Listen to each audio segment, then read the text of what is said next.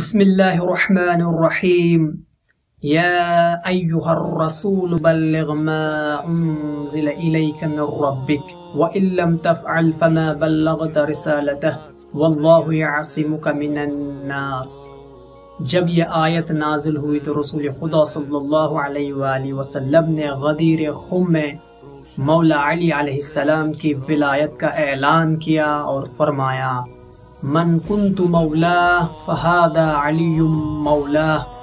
اس کے فوراً بعد حضرت عمر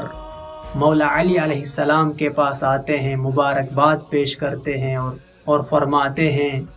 اسبحت مولا یا و مولا کل مؤمن و مؤمنہ۔